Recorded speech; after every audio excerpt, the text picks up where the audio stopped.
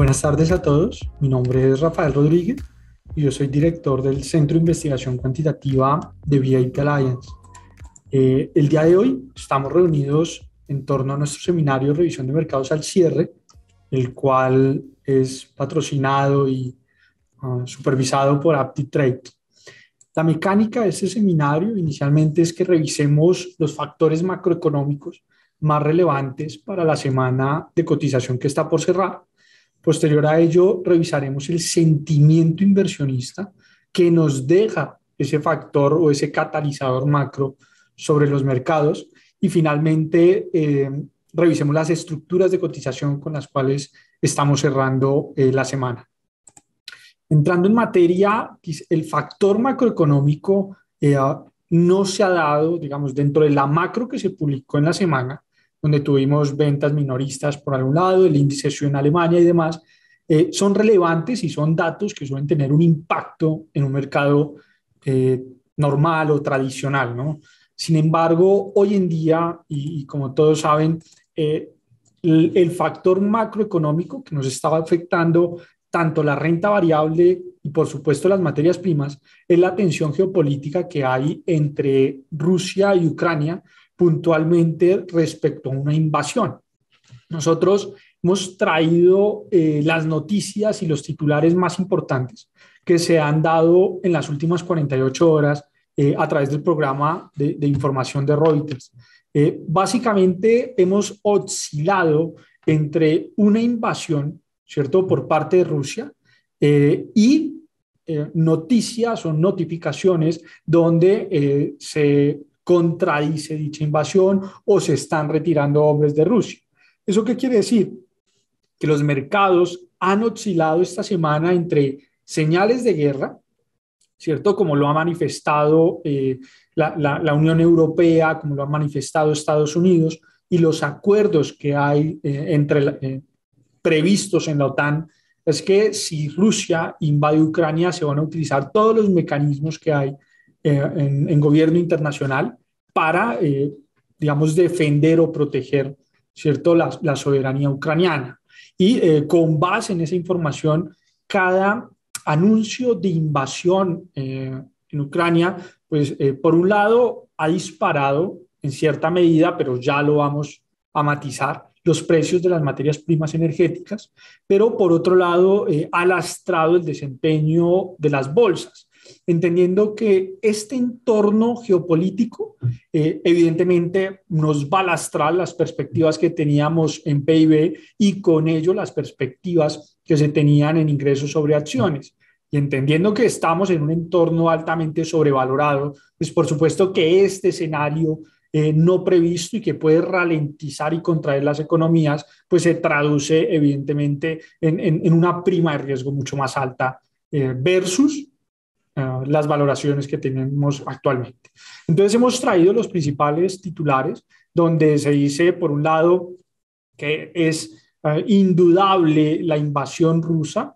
Eh, por otro lado, se tienen eh, anuncios en donde se dice que los soldados rusos se han, eh, se han retirado de Ucrania, pero también hay anuncios que se publican, por lo menos en los últimos 15 minutos, se, empiezan a tener declaraciones tipo Rusia, lo único que está buscando es un pretexto y es un pretexto eh, para la guerra. Ahora bien, eh, esto ha lastrado el sentimiento inversionista y esto ha lastrado el desempeño eh, de los mercados. Hemos visto altas volatilidades en, el mercado de materias primas, puntualmente en el, en, el petróleo, y hemos visto cómo el oro ha funcionado muy bien en la última semana, al igual que activos refugio como el franco suizo eh, y el yen japonés. Sin embargo, hay, hay un tema eh, y, que lo queremos aclarar de entrada, y es que usted no puede trasladar directamente el precio del petróleo, la cotización del petróleo, a los problemas que hay eh, en términos de tensión geopolítica. Y es que estamos viendo que el rublo lo está haciendo bastante mal, ¿cierto? línea naranja, el rublo ruso contra el dólar americano, y el petróleo lo empieza a hacer bastante bien. Y entonces es ahí donde es importante eh, supervisar que este factor macro hacia las materias primas energéticas también está siendo impulsado por la última directriz que emite la OPEP más sobre abrir o no abrir el grifo. ¿Correcto? por otra parte, hemos traído acá y, a mostrar la divergencia que se está dando en el mercado dado este entorno geopolítico y es que eh, el petróleo lo está haciendo muy bien, línea azul, ¿correcto? Pero el oro también lo empieza a hacer bastante bien e históricamente eh, su comportamiento es de una correlación inversa. Entonces, mucha atención porque podemos estar eh, ante un entorno donde se está buscando refugio en el oro, pero simultáneamente las materias energéticas empiezan a ser una buena oportunidad de compra. Y entonces ahí dependeremos, entendiendo la correlación inversa entre estos mercados, dependeremos de cuál es, hacia dónde rompe, ¿cierto? Si finalmente esto eh, termina siendo una eh, declaración de guerra y entramos en un entorno eh, de conflicto armado o, o, conflicto tipo Guerra Fría, pero todos contra Rusia, o finalmente no hay un escenario como tal y por tanto el oro deja de ser un eh, atractivo tipo refugio. Entonces, insistimos, la semana se ha visto movida a nivel macroeconómico por la presión geopolítica entre Ucrania y Rusia. No todo ha sido Rusia. Vemos que el repunte en el petróleo eh, se ha dado también por la última directriz de la OPEP más y atención al repunte en el oro porque empieza a mostrar que los inversionistas salen de estos grandes activos de riesgo y empiezan a buscar refugio como en un metal precioso como en el oro. Ahora bien, eh, esto se ha visto eh, en el mercado en donde resaltan ciertos informes, puntualmente la tensión geopolítica pues sí nos está trayendo un repunte al petróleo WTI, como lo hemos dicho, pero también la directriz eh, de la OPEP+. Ahora, es muy importante tener en cuenta que el repunte visto en las materias primas en, las en la última semana también se debe a que el Departamento de Agricultura de Estados Unidos el jueves, en, en horas de la mañana, comenta que las exportaciones totales de la soya fueron de 2.888 millones de toneladas frente a un panorama de 2.446 millones eh, de la semana anterior. ¿Eso qué quiere decir? Que empezamos a tener una mayor demanda de soya a nivel mundial y por ende o, se traduce en un mayor coste eh, de las materias primas, no todas, como lo veremos más adelante. Por otro lado, eh, el conflicto entre estas naciones el, conflicto que hay Rusia, Ucrania, el acuerdo energético al que ha llegado Estados Unidos con la Unión Europea y sobre todo a esas conversaciones que se adelanta eh, en un eventual acuerdo con Irán, eh, pues se está traduciendo en presiones a materias primas como el gas natural. ¿Correcto? Hemos visto una corrección momentánea, eh, pero que habrá que seguirle el curso en la medida en que tengamos o mayores oferentes, dado el caso de que la resolución a este conflicto sea netamente diplomática, o tengamos un problema en los oferentes, dado el caso que empecemos a tener una política em, económica y unas, eh, si se quiere, unas restricciones y sanciones eh, a las personas que transan eh, con Rusia.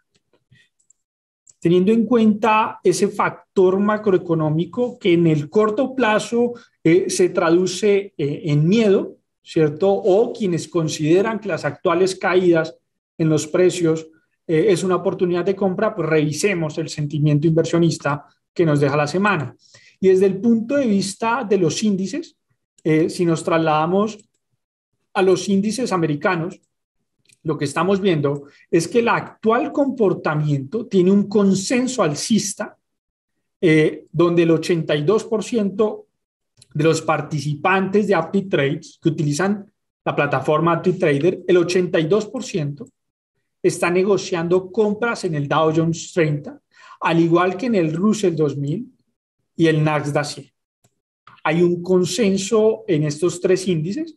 El 82% de los participantes del Dow Jones son compradores, un 87% de los participantes en el Russell 2000 son compradores y en menor medida, pero dentro de entornos de consenso eh, de consenso de los inversionistas. En el Nasdaq 100, un 72% de los participantes es alcista. Sin embargo, visto desde el mercado spot del Standard Poor's 500, sí estamos viendo un entorno eh, de incertidumbre.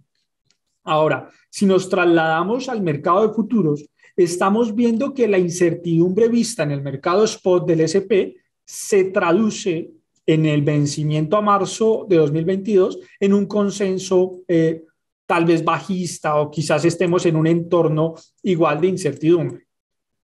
¿Cierto? Eh, del lado del Dow Jones sí es claro que mientras que en el mercado spot se identifica una gran oportunidad de compra, los vencimientos a marzo de 2022 no hay consenso. Hay alta incertidumbre si en el precio que cotiza el futuro es una oportunidad de compra u, o una oportunidad de venta. Eso mismo sentimiento de incertidumbre lo vemos reflejado en el Russell 2000 con vencimiento a marzo de 2022 y en el Nasdaq 100 con vencimiento a marzo de 2022. Ahora, cuando analizamos los niveles de volatilidad que hemos alcanzado esta semana y en las últimas semanas y todo el mes de enero, que nos hemos situado por encima de los 20 puntos, pues vemos que los inversionistas en el BITS con vencimiento a marzo de 2022 consideran y hay un consenso vendedor de volatilidad.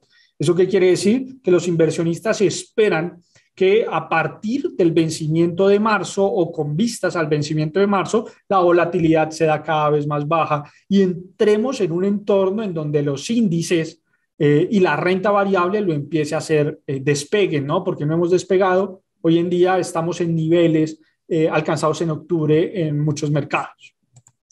Si nos trasladamos a los índices bursátiles de la zona euro, estamos viendo en el mercado spot que los actuales niveles de cotización del IBEX 35 han sido una gran oportunidad de compra en un 86% por parte de los participantes de AptiTrade en la plataforma AptiTrade.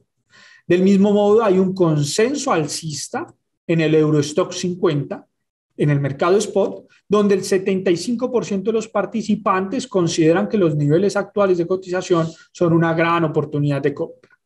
Esto mismo y en mayor medida vemos que un 81% de los participantes en el CAC 40, el índice de la economía francesa, consideran que los precios del mercado spot de hoy son una gran oportunidad de compra. Contrario a eso, estamos viendo en el índice alemán, en el DAX 40, un entorno de incertidumbre donde no hay consenso ni alcista ni bajista, pero las pequeñas compañías que cotizan en la bolsa alemana, el índice sí refleja un consenso alcista en un 96% por parte de los participantes que negocian a través de la plataforma ActiTrade. Contrario a ello, en el FITSE 100 eh, encontramos un entorno de alta incertidumbre. Ahora bien, si nos trasladamos a los futuros sobre los índices europeos, vemos que ese actual consenso alcista en el mercado spot del IBEX 35 coincide con eh, un consenso alcista por parte del 87% de los participantes que negocian el futuro con vencimiento a marzo de 2022 en el IBEX 35. Del mismo modo, ese consenso alcista que identificábamos eh, en el mercado, en el Eurostock 50, mercado spot, coincide con el consenso alcista que se aprecia en los futuros con vencimiento a marzo de 2022 en el Eurostock 50. Allí, el 99% de los participantes de futuros consideran que los niveles actuales de cotización son una gran oportunidad de compra en el Eurostock 50 con vencimiento a marzo. Ahora, donde empezamos a encontrar divergencias es que mientras que hay un consenso alcista en el CAC 40, en el índice francés, mercado spot, consenso alcista, en el mercado de futuros, con vencimiento a marzo de este año, hay un consenso bajista en el CAC 40, donde el 97% de los participantes consideran que los niveles actuales de los futuros son una gran oportunidad de venta.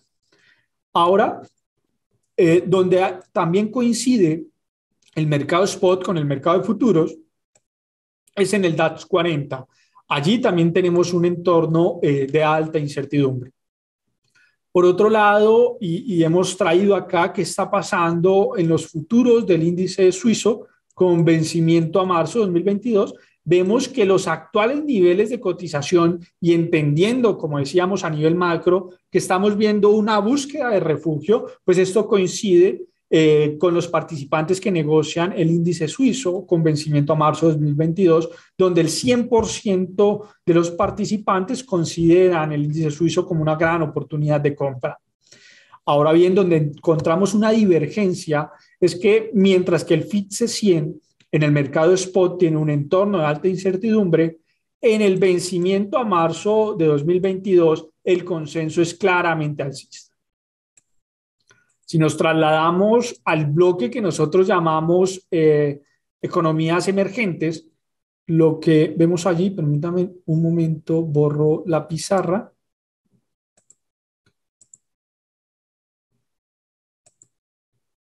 Bueno, um, Listo. Eh, cuando nos trasladamos a nuestro bloque emergente, vemos que en el índice Bovespa eh, hay un entorno de incertidumbre. Recordemos que el índice Bovespa lo que supervisa eh, es el desarrollo de las 50 compañías más importantes que cotizan en la Bolsa de Brasil. Vemos que allí hay un entorno de alta incertidumbre en el mercado spot, mientras que el índice de Hang Seng correspondiente a la Bolsa de Hong Kong sí refleja un entorno o un sesgo alcista, donde el 72 por, 73% de los participantes consideran que las cotizaciones actuales son una gran oportunidad de compra frente a un 27% que considera que es una gran oportunidad de venta. Donde hay un mayor eh, sesgo alcista es el Nikkei 225, el índice de la bolsa de Japón, donde el 89% de los participantes consideran que las cotizaciones actuales son una gran oportunidad de compra frente a un 11% que consideran que es una gran oportunidad de venta. Estos datos son los que se reflejan en el mercado spot y cuando nos trasladamos al mercado de futuros, vemos que la incertidumbre actual en el Bovespa se traduce en una gran oportunidad de compra o en un sesgo claramente alcista con vencimiento a abril de 2022, donde el 93% de los participantes del Bovespa, son alcistas frente a un 7% que considera que el vencimiento a marzo es una gran oportunidad de venta. Del mismo modo, vemos que converge el sentimiento alcista tanto en el mercado spot como en el mercado de futuros, del Nikkei 225, donde el vencimiento a marzo de 2022 del Nikkei es una gran oportunidad de compra para el 83% de los participantes. Si nos trasladamos al sentimiento inversor, pero ahora en las materias primas, estamos viendo en el mercado spot que las cotizaciones actuales del petróleo Brent eh, no cuentan con un consenso eh, por parte de los inversionistas al igual que el petróleo WTI. Lo que quiere decir esto es que el actual repunte de los, del mercado energético eh, no cuenta con una claridad por parte de los inversionistas de AptiTrades que utilizan la plataforma AptiTrade, en donde no hay un consenso si es una gran oportunidad de compra o una gran oportunidad de venta. Del mismo modo, el repunte que hemos visto en la última semana en el metal precioso, en el oro, eh, tiene en el mercado spot un eh, sentimiento de incertidumbre. Contrario a ello, los niveles actuales sobre la plata en el mercado spot sí son o, reflejan un consenso alcista en un 86%. Eso quiere decir que los negociantes de AptiTrade ven que los niveles actuales del mercado spot son una gran oportunidad de compra. Ahora bien, si nos trasladamos al mercado de futuros, puntualmente las materias primas, estamos viendo que hay un consenso bajista en el cacao con vencimiento a marzo de 2022, al igual que hay un consenso eh, alcista en el café, donde el 87% de los participantes consideran que los niveles actuales de cotización del café con vencimiento a mayo del 2022 es una gran oportunidad de compra. ¿Listo? Eh, hay un entorno de incertidumbre bastante importante en el trigo, en el maíz, eh, y vemos que sí hay un consenso alcista, eh, por ejemplo, en el diésel, el zumo de naranja y el azúcar. Contrario a ello, estamos viendo un consenso bajista en el algodón con vencimiento a marzo de 2022, en el petróleo Brent con vencimiento a abril, en la gasolina, petróleo WTI con vencimiento a abril y por supuesto en el gas natural. Cuando nos trasladamos y estudiamos el sentimiento inversionista sobre el mercado de divisas y trabajamos sobre la fortaleza o debilidad en términos de volumen transaccional, ¿cierto? Vemos que las divisas que tuvieron un mejor desempeño eh, durante la semana fue el dólar australiano y el dólar neozelandés. Y las divisas de peor desempeño ha sido el dólar americano, el euro y la libra esterlina. Finalmente, cuando nos trasladamos al mercado de bonos, pues lo que estamos viendo es que para los inversionistas los niveles actuales, ojo, en términos de la cotización, recordemos que un bono eh, cotiza de forma inversa a la rentabilidad, es decir, cuando crece la rentabilidad, el bono cae en precio. Y estamos diciendo que los niveles actuales de cotización eh, son considerados en todos los títulos que negocia eh, la zona euro eh, una oportunidad de compra. ¿Eso qué quiere decir? Que eh, si usted está comprando en precio, lo que espera es que la rentabilidad tienda a caer para que su precio tienda a mejorar. ¿Correcto? Están esperando que las rentabilidades que se han disparado producto de los niveles actuales de inflación y este entorno macroeconómico, pues corrijan, caigan y a partir de ahí usted tenga una gran apreciación en el bono. Contrario a ello, el bono americano con vencimiento a marzo de 2022 refleja incertidumbre.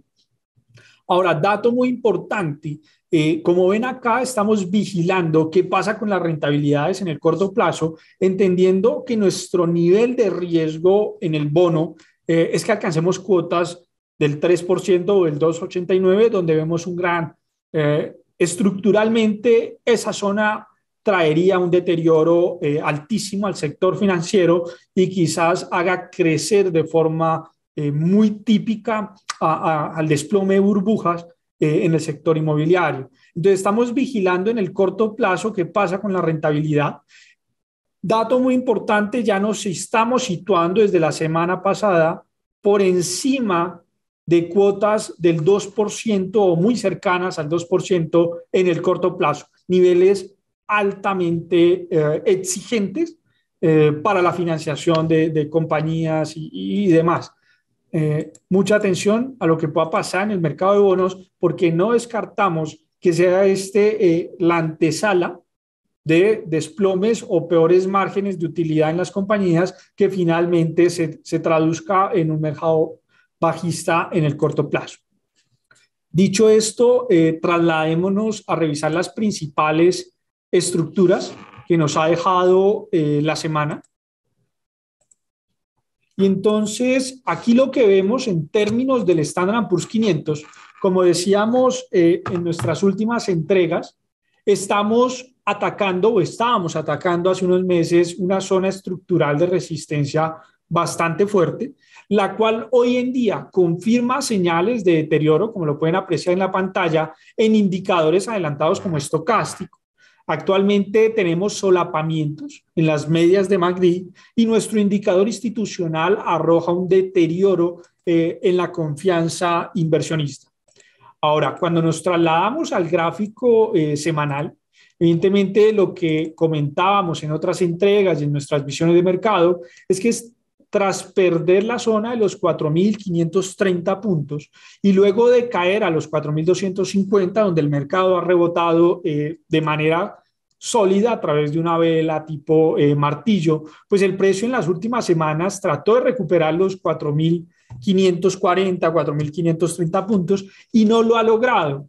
Y entonces ahí quiero compartir con ustedes, eh, incluso lo voy a graficar en vivo, una estructura que nos puede entregar eh, un, mercado bajista en las próximas semanas. Y es que ese actual rebote, ¿cierto?, hacia la cuota de los 4.530 y entendiendo que nos hemos apoyado en los 4.250 puntos, nos hace vigilar de cerca que no estemos ante una formación de un patrón de inversión de tendencia tipo hombro, cabeza, hombro, el cual nos pueda eh, hacer entrar en un mercado bajista eh, de largo plazo, es decir, eh, que, que, duremos cayendo quizás meses en el mercado americano. Y dicho patrón, pues evidentemente se hará efectivo cuando tengamos una pérdida de los 4.240 puntos y que coincida, evidentemente, dicha pérdida eh, con lo que estamos viendo en indicadores estadísticos como MACD, donde cada vez aumenta más la fortaleza del histograma del indicador.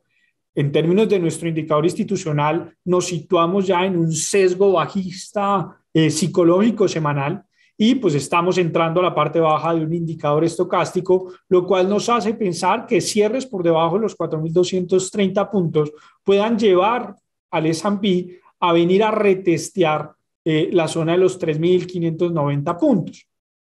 En el corto plazo, en un gráfico diario, eh, estábamos vigilando si el rebote de las últimas semanas lo, lograba superar esa estructura de máximos decrecientes, ¿no? Eh, con lo cual hemos visto que el mercado se ha enfrentado a esa zona, a esa directriz, y no ha logrado consolidar los 4.460, 4.450 puntos. Y contrario a ello, en la sesión del día de hoy, parece que volveremos a retestear ese canal estructural de soporte en los 4.227, 4.300 puntos.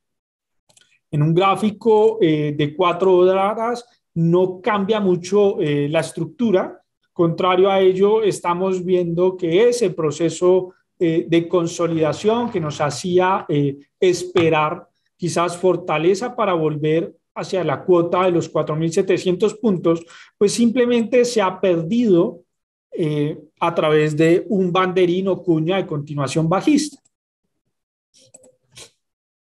Perfecto.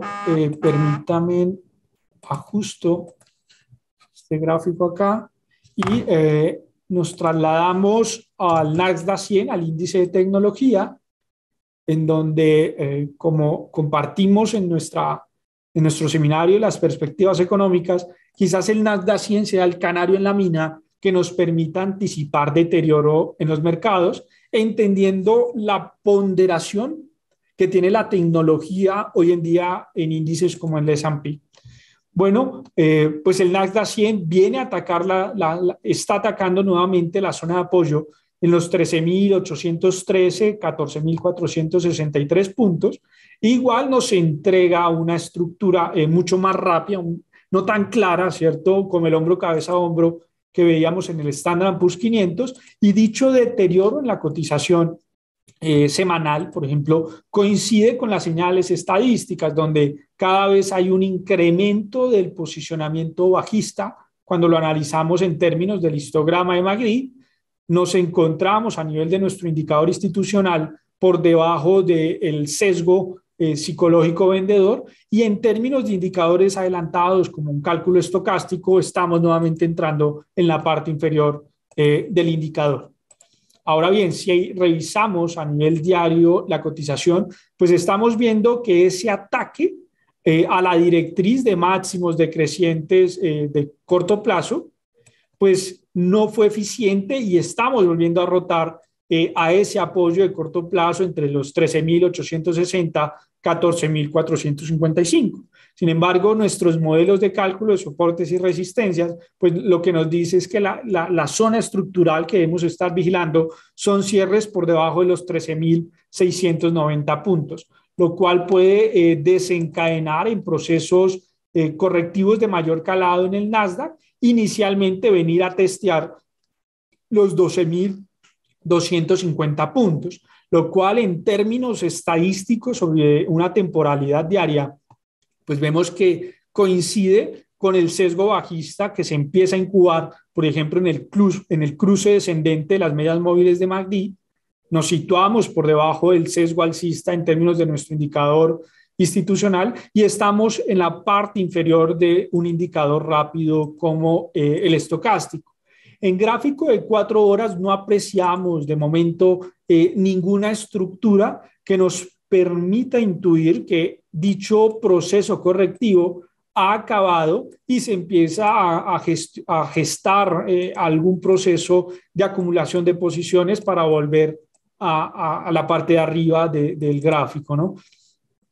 Si nos trasladamos al Russell 2000, donde veíamos un sesgo eh, claramente alcista por parte de los clientes de Active Trades, pues evidentemente eh, comentábamos la semana pasada que, cómo no, la ruptura de este eh, canal que tiene un poco más de un año hacia la parte baja, rotando casi con un objetivo en los 1817 puntos, pues representó para los clientes de Active Trades una gran oportunidad, entendiendo que casi que alcanzábamos niveles eh, correctivos del 21.8 de, de, Fibonacci. Entonces, eh, bueno, pues eh, han considerado que los actuales niveles de cotización son una gran oportunidad de compra. sin embargo, en términos estructurales, hay espacio para seguir corrigiendo, evidentemente, hacia la cuota de los 1826 y considero que lo que debería estar vigilando un operador a favor de, del Russell 2000 es que se, se perfore ¿cierto? se supere esta directriz de máximos decrecientes semanal, es decir, si llegásemos a ver cierres por encima de los 2127, pues ahí empezaríamos a cambiar eh, el entorno o la perspectiva con la que valoramos eh, las posiciones en el Russell 2000. Solo hasta ver cierres por ahí eh, y, empezar a, a, mirar qué estructuras hay en el corto plazo, pues consideraríamos compras, ¿no? De momento no hay ninguna estructura subyacente ni un sentimiento macroeconómico que nos permita, eh, digamos, justificar dicho sentimiento alcista, ¿no? Eh, pero bueno, nos podemos equivocar como, como lo hacemos muchas veces. Entonces, ni modo. Eh, de momento, en un gráfico diario, vigilamos esa directriz de máximos decrecientes y esperamos, evidentemente, esos cierres por encima de los 2.170 puntos que nos permitan ver que vamos a entrar o a rotar nuevamente a esta zona de resistencia en los 2.360 puntos. De momento, eh, indicador o fortaleza solo se aprecia a nivel diario en términos de MACD. Sin embargo, en las últimas sesiones eh, se ralentiza el posicionamiento cuando lo valoramos desde el histograma del indicador y mucha atención porque estamos viendo cruces descendentes en términos estocásticos y aún no estamos en la parte inferior del indicador. Lo que quiere decir es que podemos caer un poco más. ¿Correcto? Es decir, que eh, quizás haya espacio para venir a retestear los 1900 puntos antes de ver alguna señal o indicación técnica eh, a favor del Russell 2000. Del mismo modo, nuestro indicador institucional pues registra una directriz de máximos decrecientes que de momento contiene eh, dicho impulso alcista en términos de fuerza relativa. Ahora, si nos trasladamos al índice alemán, el DAX 40, em, lo, que, lo que vemos en términos de, de, ese sesgo alcista que se ve de largo plazo es que a nivel semanal ese sesgo alcista depende de una secuencia muy clara de mínimos en un mismo nivel y de máximos cada vez mayores. Ahora, de momento eh, nos sostenemos en los 14.892 euros 15.100 euros. Eh, parece que es una gran zona de apoyo de momento para el DAX 40. Sin embargo, mucha atención porque eh, continúa el deterioro en términos de indicadores un poco más robustos como MACD. Nuestro indicador institucional se sitúa por debajo de, eh, del sesgo alcista y de momento no apreciamos cruces alcistas en términos de un estocástico, con lo cual no, no vemos señales de que este soporte sea una buena o una nueva gran oportunidad de compra en el DAX. Del mismo modo, cuando hacemos un poco de zoom y nos trasladamos al gráfico diario, vemos que esa directriz de máximos decrecientes de corto plazo continúa eh, sirviendo de forma eficiente como resistencia. Eh, del mismo modo, no apreciamos eh, o el indicador no nos muestra de forma eficiente em, alguna, alguna acumulación en el order book de posiciones compradoras. ¿no? no hay ninguna formación que nos registre acá de volúmenes compradores, aunque apreciamos ligeras divergencias alcistas, pero estas no tienen la, la fuerza contundente para que nuestro indicador lo registre. Ahora, si nos vamos al Eurostock 50, donde hay un alto o un gran consenso eh, alcista, pues vemos que ese sesgo alcista que se gesta tras superar los 3.900 puntos, eh, se daba a través de una estructura de mínimos crecientes y máximos crecientes, ¿no? Pero luego de retestear o luego de alcanzar allá arriba los 4.400 puntos, hemos rotado con fortaleza eh, a esa directriz de mínimos crecientes. Actualmente aún no podemos hablar de que se haya perdido, pero como ven, la hemos pasado en una y en dos oportunidades en un gráfico semanal y eh, de momento hay fortaleza bajista en términos de un indicador robusto como MACD, nos encontramos en la parte baja de un indicador estocástico, pero todavía no se aprecian cruces alcistas. Y nuestro indicador psicológico muestra eh, que estamos por debajo del sesgo alcista, es decir, es un entorno claramente bajista que de momento, desde el punto de vista del sentimiento de los clientes de la de AptiTrade es una gran oportunidad de compra. Sin embargo, no logramos apreciar eso eh, pues, e, e, en el análisis que, que estamos adelantando. Ahora, si aumentamos el zoom a un gráfico diario, vemos que esa directriz de máximos decrecientes funciona o está funcionando de forma eficiente y que aún no vemos señales adelantadas como cruces alcistas en términos estocásticos, no vemos fortaleza en el histograma de MACD para pensar un cruce de medias y nuestro indicador institucional registra una pendiente de máximos decrecientes que sostiene la fuerza relativa eh, en un sesgo vendedor. Si nos trasladamos y revisamos el IBEX 35, em, lo que estamos viendo en la bolsa española, como hemos dicho en todas nuestras entregas, es que allí eh, estamos enfrentando una resistencia eh, correspondiente a una directriz bajista de, que data desde el año 2015, con lo cual el IBEX no lo tiene fácil eh, para cambiar la psicología eh, de largo plazo hacia un sesgo alcista. Actualmente vemos que ese ataque a la directriz nos está aplanando eh, un indicador robusto como MACD. Tenemos cruces y nos encontramos en un entorno de cruces bajistas en términos estocásticos y hay un gran aplanamiento en la psicología vista desde nuestro indicador institucional. Ahora, si vamos a un gráfico eh, semanal, lo que estamos viendo es que el IBEX se sostiene entre los 7.998 8.356 euros. Eh, mientras que no se pierda eh, esa estructura de mínimos que ha funcionado muy bien aquí como resistencia, soporte, soporte, soporte y soporte en las últimas sesiones, pues no podríamos hablar de que estemos retomando eh, esa estructura bajista correspondiente a, una temporalidad de largo plazo en el IBEX 35. ¿no? del mismo modo, los inversores vigilan estas dos directrices de mínimos crecientes, una mucho más lenta, eh, ¿cierto? Que tiene que ver con esta que voy a resaltar acá, blanca, y una de corto plazo, que no son tan relevantes cuando uno las valora en términos de puntos de, de anclaje o apoyo, son apenas dos puntos, ¿no? Eh, sin embargo, una pérdida de estos niveles en precio que, recordábamos entre los 8.000, 8.300 puntos, junto con una perforación de, esas de esa directriz eh, de mediano plazo, pues indudablemente eh, traerá deterioro al IBEX 35. ¿no? De momento, en un gráfico diario que tenemos a favor para pensar dicho deterioro en la cotización, pues en un gráfico diario vemos que se estaría formando eh, un patrón de agotamiento alcista tipo cuña ascendente, el cual de, perderse coincidiría con entrar a la parte baja de un indicador eh, estocástico, aumentar la fortaleza bajista eh, en términos del histograma de MACD y por supuesto esperamos ver cruces de nuestro indicador institucional que confirmen una entrada más profunda en la psicología bajista de, los operadores.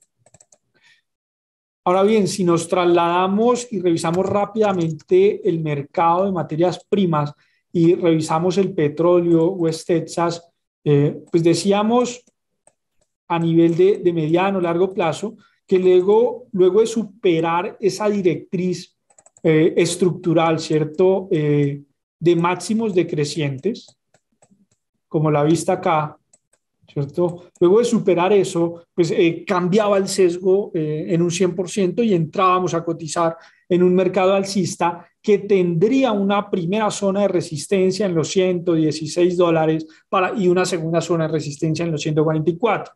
De momento hemos visto que los 98 dólares le ha costado al petróleo eh, WTI y que a partir de ahí, en un gráfico semanal, entendemos que el impulso alcista eh, de las últimas semanas pues se ha dado gracias a un comportamiento, quizás a través de una estructura tipo megáfono, de mínimos crecientes y máximos crecientes. Y bueno, actualmente atacamos esa estructura eh, de máximos crecientes y a partir de ahí no nos sorprendería ver nuevamente eh, rotaciones hacia, mínimo hacia los 85 dólares en el corto plazo. Dicha eh, perspectiva correctiva desde un punto de vista de la estructura de cotización, pues coincide con los cruces descendentes que estamos viendo en un indicador adelantado en términos estocásticos y mucha atención porque estamos cotizando con cruces ya saliendo de la zona eh, alta de un sentimiento comprador eh, visto o valorado desde nuestro indicador institucional. Ahora, cuando lo revisamos en términos diarios, pues eh, de momento no apreciamos ningún tipo de estructura que nos permita percibir deterioro en la cotización para tener dicha rotación o dicho comportamiento bajista.